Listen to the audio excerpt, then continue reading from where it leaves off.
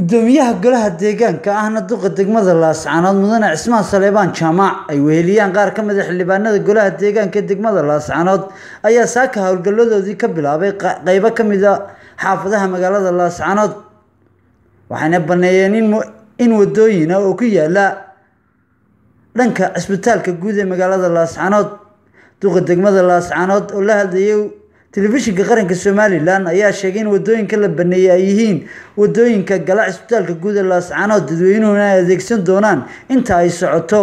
waddada laamiga ah ee ka baxda cisbitaalka guud ee dhex marta magaalada laascaanood waxayna sheegeen in qorshahan wada banaynta iyo weliba soo celinta bilicda magaalada laascaanood ay yihiin qaar socon doona.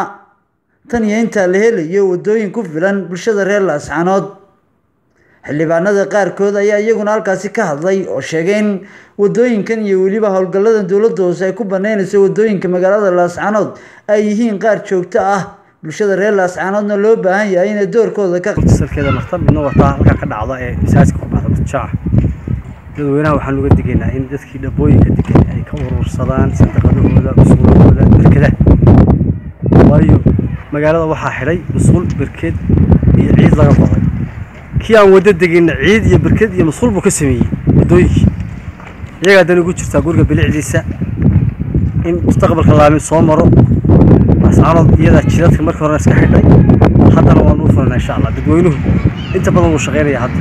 U diyaaru yahay inuu waddooyin helo in laga xaaqo musqulahooda qaarnaya duniya kaale laga dumiyo jikooyinka ka dhisan